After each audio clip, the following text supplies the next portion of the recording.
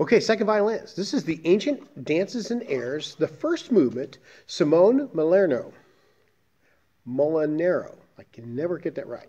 Okay, so anyway, this movement here, hopefully I can play it better than I can pronounce it.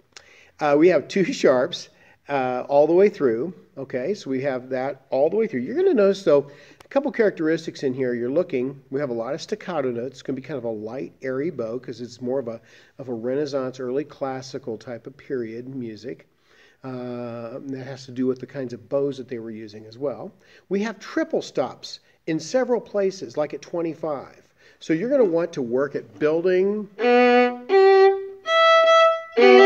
two, three, two, three. Okay, just working on building those chords. At first, it's going to feel clunky and like maybe you're never going to get it, but you will. You'll be all right. So here we go. One, two, and three, four.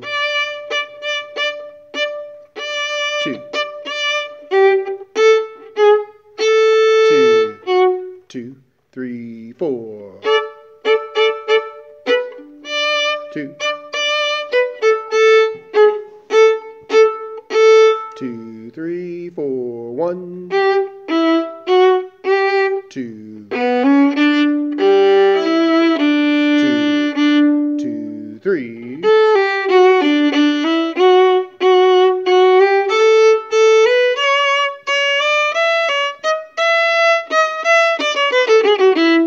Two, one. Okay, let's fast forward where we come in. One, two.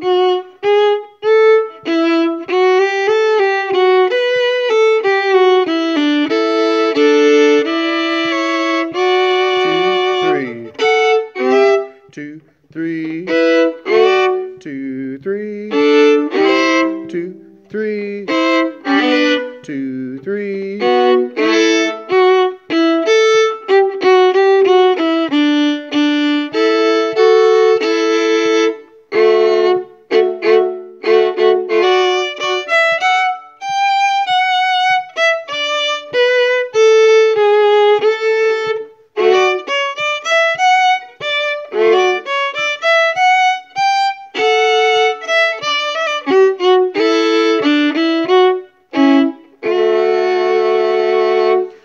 now at 41, you notice our key signature changes here. Okay, careful. Two, three, and softer. Two, three.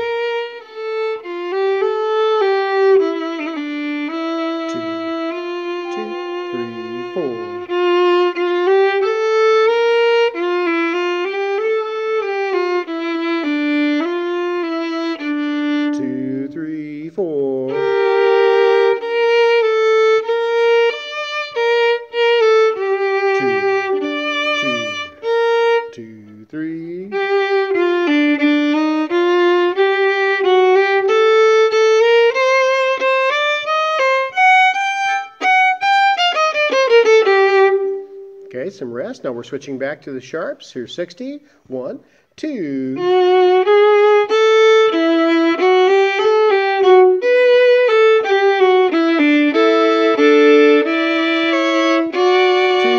three.